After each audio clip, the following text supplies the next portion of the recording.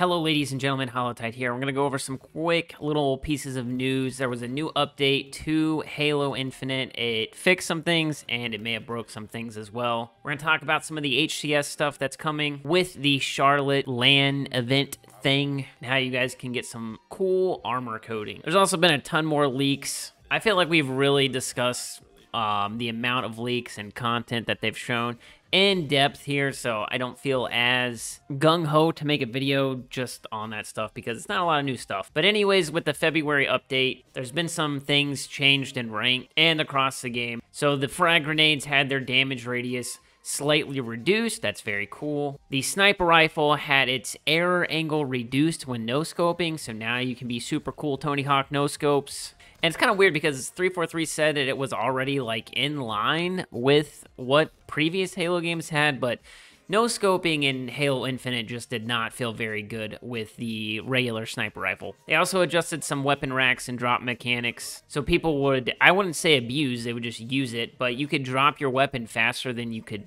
swap weapons and a lot of pro players and you know people in ranked were using that. Halo 343 didn't really like that, so they adjusted it so the drop weapon mechanic will now have the same speed as normal weapon switching, which there's been some tweets on Twitter showing that that is not true, that dropping it is still slightly faster, but they've also made it to where when you drop the oddball or drop the flag or try to juggle the flag, it takes forever so that is not intended. It is a bug. So hopefully we see a fix for that soon because I feel like it kind of makes it way less enjoyable to play and to watch. Also at the HCS event, they're to give a sneak peek at Season 3 where the Grassroots creators are to fight. They're to go head to head. So I assume that means they're just to play on new maps. They're going to use the Bandit Rifle and the Shroud Screen. Also, we do know that Plaza is going to be coming to Halo Infinite, so maybe they'll show that off as well. We've seen the other two maps.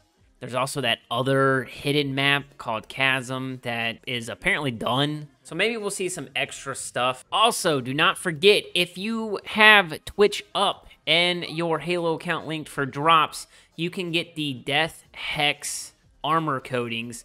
And I'm not gonna lie, these are pretty sick. I it kind of looks like oil and water. It, I, I don't really know how to describe it, but I love it. So I'm excited to get that stuff. I will be attending the event, so very, very cool. But that's going to do it for the video, ladies and gentlemen. I hope you enjoyed. If you did, make sure you leave a like down below. If you're new to the channel, make sure you subscribe, and I'll catch you in the next one.